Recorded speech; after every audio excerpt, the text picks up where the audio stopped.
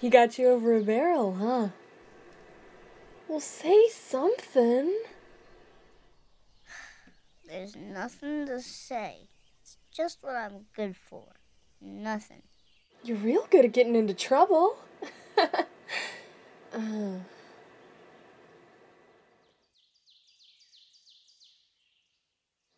Of course you're good at something, Copper. We just gotta figure out what. You know what you need? A little fun. I wonder if there's a county fair around here. Come to think of it, there is. In case you haven't noticed, I'm a little tied up right now. Nothing a fox can't fix.